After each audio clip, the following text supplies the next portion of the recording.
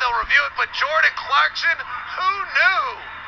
A one-hand hammer off a one-foot jump in the lane, 31-29. Toronto leads.